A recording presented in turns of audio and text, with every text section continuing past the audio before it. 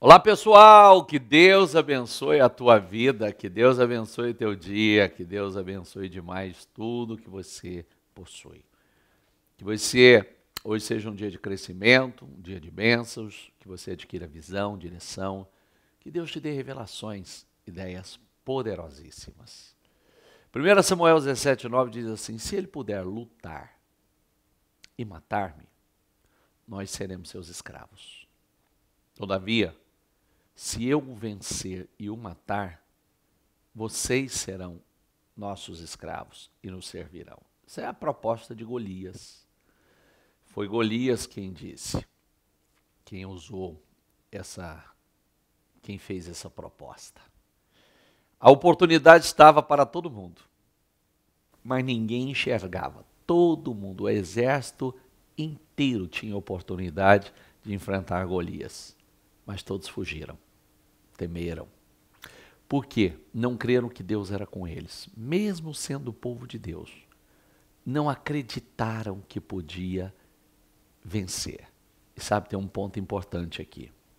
A liderança máxima da nação enfraqueceu o povo. Um líder covarde, um povo covarde. Saul transferiu o espírito de covardia, de passividade e tolerância em relação às afrontas que o gigante incircunciso fazia a Deus e à nação.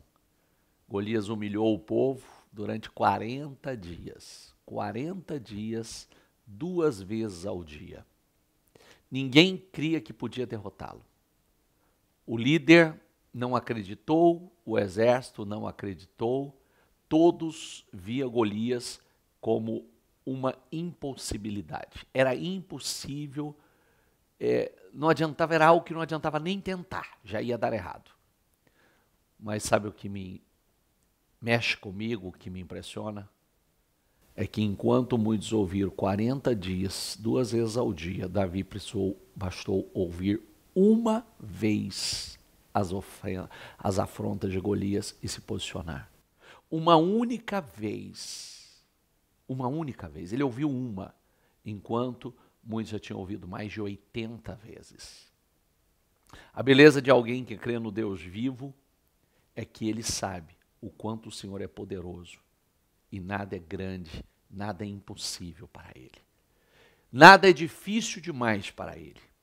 Há uma atitude diferente na vida de uma pessoa assim. É enfrentar. Ela enfrenta e Deus dá a vitória. Coloque isso dentro de você, do teu espírito. Não faça parte como a, a grande maioria que aceitou a afronta, a humilhação por dezenas e dezenas de vezes.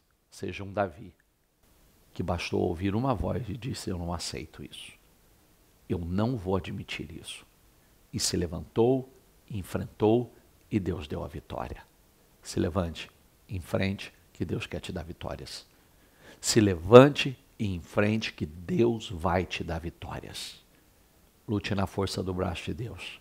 Davi disse: Olha, você vem a mim com espada, escudo e lança, eu vou contra ti, em nome do Senhor dos Exércitos, o Deus vivo a quem você tem afrontado.